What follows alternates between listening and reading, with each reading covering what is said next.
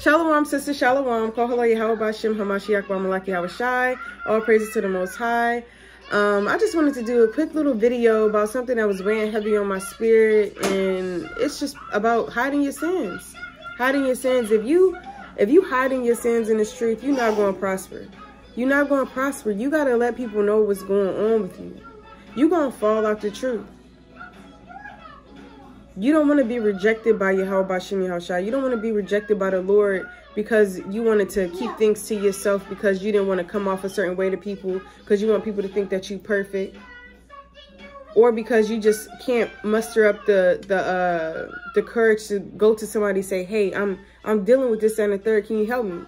But if you know the scriptures and you got you know a sincere sister to go to or even your husband to go to let them know. Let them know what's going on they gotta bear, you know, we have to bear one another burdens. We have to be our, you know, our brothers and our sisters keeper at the end of the day. So if you're going through something, let your husband know, let a sister know. And ask, hey, can you fast with me? Can you pray for me on this matter? Can y'all ask such and such? Can y'all throw up a prayer for me? You know, when you don't do stuff like that, you you just gonna, you literally just gonna fall you gonna fall um out the truth. And you just gonna wax worse and worse. And if you ever feel like you you too good to get counsel or you too good to let nobody know what's going on, you're not gonna be you you you might as well count your days in the truth. Because you have to literally let people know, like, look, I'm I'm dealing with this and a third.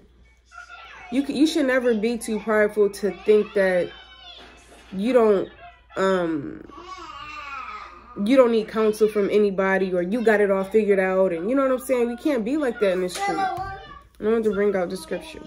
Mommy. Yes. Okay. And, you know, another thing about that is that we really represent Yahweh Bashim Yahawashi. We represent the truth. Like, we represent, you know, our heritage and our nationality, everything that was taken away from us.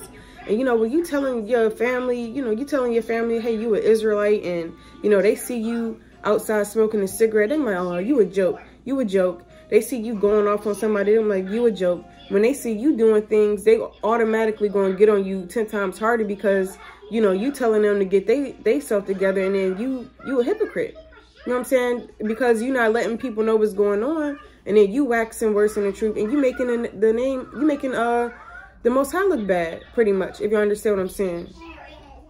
We the light of the world. We, we're that example we're supposed to be that righteous example for the rest of, you know, so-called black Hispanics, Hispanics and Native Americans. And if you want to keep continuing being that righteous example, you have to literally confess your faults one to another, find a counselor and get counseling and work on whatever demons it is that you're dealing with. Um, and it's Matthew 5 and 14. Ye are the light of the world, a city that's set on a hill that can't be hid. So, you know, people see your light. When you walk in a room, people see your light. People see, dang, something different about her. There's something different about her. But that light can eventually dim out. If you're not keeping the commandments, if you're not confessing your faults, letting people know what's going on with you, trying to get counsel, trying to fast on the matter, because you just, you know, don't want to say nothing. Because you might be too embarrassed. So what? We all go through things. It's either you too embarrassed to say something. No, that's not what. No, you gotta overcome that spirit of being embarrassed and letting people. You gotta let people know what's going on, or you gotta overcome that spirit of pride that you know I don't want. to, No, I already know it. Now, no, you gotta you gotta overcome that. I want to bring out another scripture. It's Proverbs 28 and uh, 13. He that covereth his sin shall not prosper, but whoso confesseth and forsaketh them shall have mercy. So if you confess your sins and forsake them, meaning not to do them again, the Most High may have mercy on you. Lord willing, he'll have mercy on you. But you're just not going to prosper. You're not going to gain no wisdom. And you already know one of my favorite scriptures, wisdom shall be the stability of, of thy times. Like, so you need that wisdom to be stable in these last days.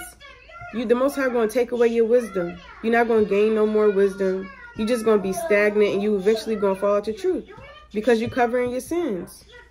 And you need all the wisdom and knowledge and understanding you can get in these last days. But whoso confesseth and forsaketh them shall have mercy. And we, we need that mercy. We need that mercy now more than ever. Y'all see things heating up. You know, it's just, you, we spiritual. We judging all things. We, we, you know, looking out, seeing like, you know, prophecies being fulfilled left and right. So you just, you know, we need that mercy. So like, we need that mercy from them, uh, from Yahweh Shemi Haushai. Cause it's bad out here. You don't want to be caught up in a situation in the, um, in these last days and you know something happened to you because the most high like look i'm not dealing with you. You don't you don't want to confess your sins to nobody. You think that you perfect. You you you know you don't you don't want nobody praying for you. You don't want to fast with nobody. The most high not going to deal with you. Let me get this one. and this is ecclesiasticus 6 um 6 and 6 be at peace with many that nevertheless but have one counselor of a thousand. So have that one counselor. Everybody don't got to know your business. Everybody don't got to know your business. Just have that one counselor you can confide in and somebody that you know is like, look, that's a good sister right there. I can confide in her. You know, she not going to tell everybody my business. Um, this just be, this going to be just be between me and her. Um, have that sister around you. Have a sister like that. Have a sister you can go to when you really need somebody to talk to. You know what I'm saying? And um, that's pretty much it, y'all. We, you know, Israel, we really got to do better. It's, it's, um, it's just, it's sad, you know. I saw somebody that was real, real, real mighty in the truth, and unfortunately, like they, they used to always be like, "Oh, I'm, I'm, um, I'm not worthy of this, and I'm not worthy of that. I'm not, you know." And eventually, they just fell out the truth, and it's heartbreaking. It's so sad it's so sad. And I, I don't ever wish that for any of my sisters. That's why I wanted to do this video is because, you know, let people know what's going on. When you don't let nobody know what's going on, you, you're going to be in the world looking, you're going to be bugged out. Because the Most High not going to want to deal with you. Like this, this word is, it's not a game. It's no joke. This is real life. Like this is real life. This is life or death. Um, so it's unfortunate when people don't want to, you know, confess their faults to nobody and, you know, you don't want to, you don't, you covering your sins, you're not going to grow in this truth. You need all the knowledge and wisdom and understanding you can get in these last days. And um, that's pretty much it, sisters. That's pretty much it. And if you struggling, you know, if you're struggling with letting people know what's going on, you just fast on that matter. Fast on that matter. Fast on that matter and confess your faults. Even go ask the Most High. Yahweh Shemi may you please put the spirit on me to examine myself so I can confess my faults, so I can be found blameless in these last days. Shoot, that's that's something that sisters need to pray for. Cause it's bad. It's just it's sickening. It's so sad. I hate seeing people fall out the truth and you know we just got to do better, y'all. We got to really confess our faults and let people know what's going on with us. And never be afraid to reach out to sisters and say, hey, hey, can you pray for me today? Can you, can you throw up a prayer for me? You don't, sometimes you don't even got to say much. You don't even got to let them know what's going on. Hey, y'all, can y'all throw up a prayer for me? That's usually what we do in our sisterhood. You know, if you're going through some a bad day or something, can y'all please throw up a prayer for me? Just like the other day. And let me tell y'all, just like um, it was on a Sabbath day. I was, you know, this might be TMI, but this video is for sisters. So I would hope it's like no brother watching my, you know, video. Cause, but anyway, um, I was going through it one Sabbath. I was going through it. Um, what happened to me? I forgot what happened to me. I had like three things happen to me all at once. It was like my tooth was hurting. Um, I had a toothache and then a migraine. I had toothache, migraine, cramps, it, you name it, it was happening. It was bad. My uh oh, carpal tunnel from um from just like working stuff and car so I had carpal tunnel in my hand. I could barely pick anything up.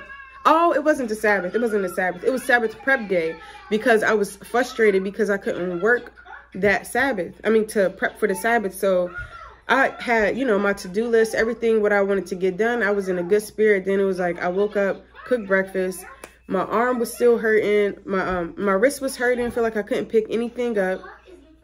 I'm trying to figure out what was I doing. Oh, I was doing my kid's hair. So my uh, my uh, wrist was hurting, and I I I always have I don't know just carpal carpal tunnel. So anyway, my wrist was hurting. I had cramps. Um, I had a toothache. I had a migraine. It was just a real bad Sabbath prep day, and um I immediately, I was like, I gotta, somebody, somebody pray for me, please. So I sent the sisters messages and I was like, please, y'all, can y'all say a prayer for me? I'm going through this, that, and the third. Please throw up a prayer. Y'all, let's just say that I did everything I had to do that Sabbath day. The Most High took the pain out of my mouth. He took the pain out of my hand. He took my cramps. Uh, my cramps went away a little bit, but I was feeling good enough to actually physically wash dishes, wash clothes, work, wipe the walls down. I was I was cleaning up. I was pretty much deep cleaning that Sabbath. And when I was laying down, I was like, dang, I might not be able to do it because I'm going through this. But when I asked my sisters, can y'all pray for me? It was like I was instantly healed, like within minutes later. And that's um that's uh a prayer of a righteous man availeth much. I'm gonna just get the scripture. It's um James 5 and 16. Confess your faults one to another and pray for one another that ye may be healed. The effectual effectual fervent prayer of a righteous man availeth much. So yeah, let let people know. Let people know what's going on with you, even if it's spiritually, physically. Like, look, I'm going through this spiritually today. Can you please have a prayer for me? Look, I'm going through this physically today. Can y'all please have a prayer for me? And instantly, you never know what the Most High can do. He can heal you. Like I was, like I literally sent them messages like not even 10 minutes. It, it wasn't even 10 minutes. And I was like, y'all, I feel so much better. And everybody like, Kohalai, how about Shimi, how shy? Like the scriptures, the Most High is not a liar. Everything's written is true. Everything's written in the scriptures is true. So when you're going through something, you you better ask somebody to pray for you. You never know that prayer of that righteous sister is going to help you. So, you know, don't ever be afraid to reach out. You don't, even you can always send me a message on the, um, the, uh, Handmaids of Yahawashi page on Instagram. It's handmaids underscore Yahweh underscore Y Yahawashi. Send me a message and, you know, say, hey, you know, can you pray for me? Can you, know, can you and your household throw prayer for me? We're to do it. We're to do it. Now, even, even with my family, my brothers, oh, you know, can y'all pray for this sister? Can y'all, you know, my brother be like, what's her name? All right. Everybody, you know, throw up the prayer. All right. So, you know, Lord willing, this video helped y'all. Lord willing, y'all keep enduring. Don't forget to confess your faults because nobody's perfect in this truth.